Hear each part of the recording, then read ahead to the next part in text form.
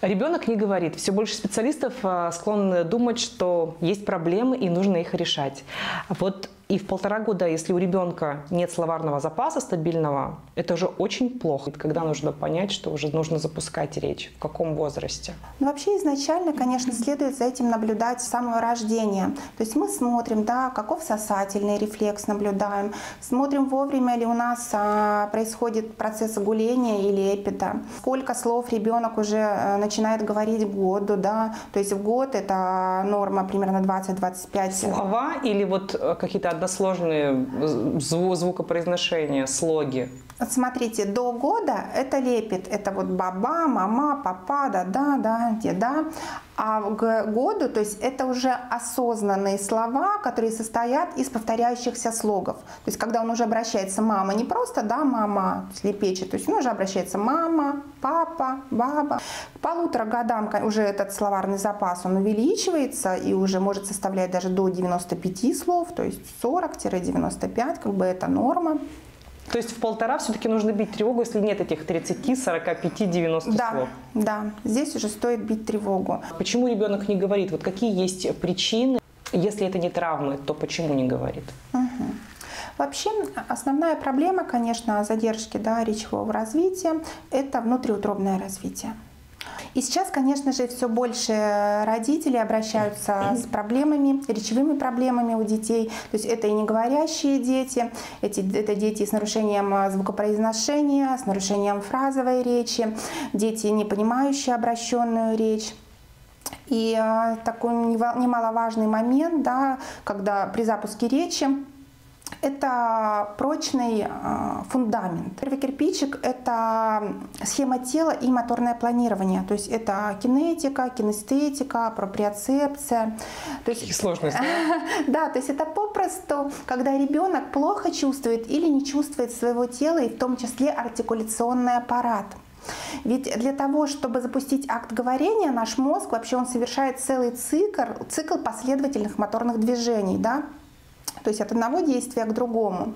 И ребенок, он попросту не знает, то есть как передать этот сигнал к артикуляционным органам, да, какую часть расслабить, э, что напрячь, да, как поменять эту артикуляцию. А второй момент, то есть второй кирпичик, это у нас межполушарные связи. А, принято считать, да, как правило, что в одном полушарии у нас находится название предметов, а в другом полушарии у нас а, зоны, которые отвечают за речь, да, за говорение. И когда эти связи нарушены, то, соответственно, мы имеем речевые проблемы. Также это рефлексы. То есть у нас есть врожденные рефлексы. И вот в течение времени да, эти врожденные рефлексы, они должны трансформироваться в приобретенные рефлексы для моторного дальнейшего развития ребенка. И вот если вовремя эти врожденные рефлексы не угасли, то, соответственно, мы также имеем а, проблемы да, речевые. Вот это как-то можно исправить, если где-то что-то выпадает, западает? Да, это можно исправить, ну, в большинстве случаев, да, можно исправить. То есть нейрокоррекция, как раз таки нейротерапия, она подразумевает то, что для каждого ребенка а, после диагностики, естественно, глубокой, составляется индивидуальный маршрут развития. То есть и мы находим, как раз таки нейропсихолог, он находит обходные пути для того, чтобы этот сигнал вышел, да, и правильно дошел вот к, артикуляционным, к артикуляционным органам. Что тормозит речь? Что влияет на развитие речи? Ну, развитие речи влияет, конечно, много факторов. Это и педагогические, конечно же, моменты. Да. Очень важно, чтобы ребенок социализировался. Очень важно, чтобы родители, мама в частности, да, много времени уделяли ребенку, а, занимались с ним, подключали его к какой-то да, повседневной бытовой даже деятельности, а, как можно больше там читать, как можно больше различных э, стишков, а, побольше различных игр включать а, в процесс. Когда, в каком возрасте нужно, необходимо показать ребенка нейропсихологу? Ну вот если, допустим, вы видите, да, что к двум годам у ребенка речь не запускается, и в первую очередь, конечно, нужно обратиться к неврологу, я советую. Изначально невролог назначит необходимые обследования, то есть это ЭГ, это УЗИ сосудов шеи, значит, это сурдолог обязательно, потому что бывают такие случаи, что речь не появляется в силу того, что ребенок слабослышащий, да, или проблемы какие-то со слухом имеются. И уже невролог дальше может дать рекомендации обратиться к нейропсихологу, да, после обследования к дефектологу, к логопеду. А можно ли вообще надеяться на то, что речь появится сама? Вот просто появится и все, без какой-либо помощи, посторонней помощи. Ну, вообще, знаете, есть, конечно, такие детки, молчуны-профессоры бывают у нас такие, приходят.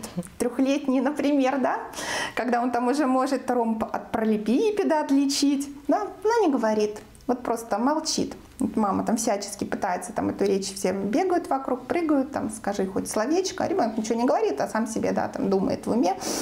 Ну, там чего я до 10 уже считаю, там еще что-то, что-то это все так сложно говорить, и так меня понимают и так далее. Вот. Ну, в таком случае, конечно, нужно более активно себя проявлять родителям для того, чтобы вызвать эту речь, для того, чтобы дать понять ребенку, что говорить несложно. То есть он может просто бояться да, говорить, что говорить несложно, это весело и интересно, и придумать там различные занятия веселые. Отсутствие мотивации, говорят, еще есть э, вот такая причина, когда нужно ребенка смотивировать для того, чтобы он заговорил. Насколько это верно и как это смотивировать на речь? Да, есть такое. Вообще психика ребенка, она очень высокочувствительна. Здесь очень важно, конечно же, не напирать.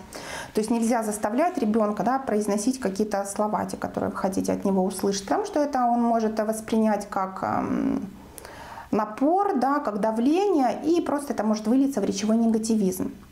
А также очень часто родители у нас, особенно гиперопекаемые, да, сейчас родители, есть они стараются понимать ребенка с полуслова.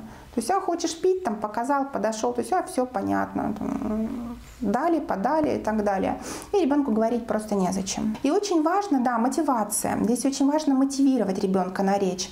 Это стараться задавать ему вопросы, давать право выбора. А можно использовать ну, различные различные такие игры, да, которые тоже будут вызывать как будто бы зависть да, у ребенка, как это весело, как интересно, да, то есть э, игры именно речи двигательные. Ну и мотивация, это же что у нас? Это синтез дофамина в первую очередь. А когда у нас дофамин вырабатывается? Когда мы что, да, чем-то довольны. И здесь тоже можно в этом случае использовать поощрение, то есть это не возбраняется. То есть когда ребенок выполнил какое-то определенное действие, которое вы просили, или произнес какое-то слово, да, то есть вы его там поощряете, ну, какой-то там вкусняшкой, что он любит. То есть ничего страшного в этом нет. Да, главное дать ему первые толчки, чтобы он не боялся, что это не страшно, что он это может. Речь на кончиках пальцев. Вот вы еще часто употребляете крупная моторика. Что это да. значит и насколько это важно? А мелкая моторика, она формируется на базе крупной моторики. То есть это движение да, рук, ног. Поэтому очень важно э, играть с детьми в подвижные игры. То есть это мячи, это различные прыгуны, это бегать, да, это горки, это качели. То есть вестибулярный, кстати, аппарат тоже большую роль играет. То есть очень важно его развивать. То есть, естественно, уже на базе э, крупной моторики мы уже занимаемся мелкой моторикой, то есть различные пальчиковые игры, да, то есть э, игры с песком, с крупами и так далее. Ну, вот сейчас лето, какие игры вы бы порекомендовали родителям, которые заботятся о том, чтобы у ребенка не было проблем с речью?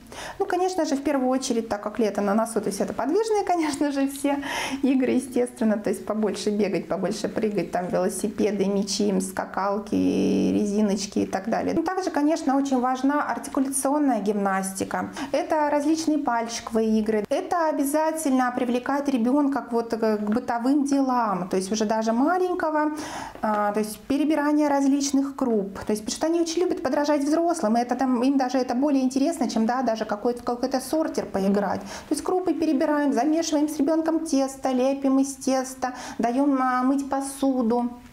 Это игры с пластилином, естественно. Это мыльные пузыри обязательно, потому что таким образом мы формируем речевой выдох, как я говорила уже, да, дыхание важную роль играет, да, все-все вспоминаем свое там, детство, детство своих родителей, да, что, чем мы занимались, то есть такая сенсорная интеграция.